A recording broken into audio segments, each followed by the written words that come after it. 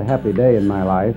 I'm extremely pleased and gratified with the action of the Dade County Board of Public Instruction in appointing me president of the Dade County Junior College. I look forward to a lot of hard work and I hope good results for the people of this community. The video archives of Miami Dade College contains many years of past events, ceremonies, activities, seminars, performances, presentations, graduations, athletics, and television programs, all produced by the college. This cart is full of DVDs and CDs that came from Kendall Campus Media Services.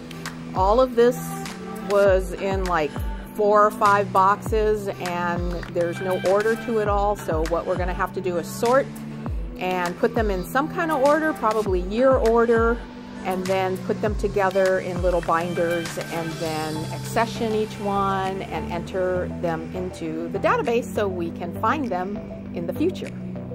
Let's take a peek at what's in the College Archives Video Vault. We're in the archives vault here, and what these are are some of the videotapes in the Miami Dade College videotape collection. And some of these have already been digitized in our sophisticated tracking system.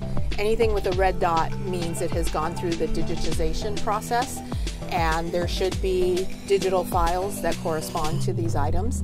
These videos arrive from all of the campuses in many different formats videotapes, DVDs, CDs, and born digital files.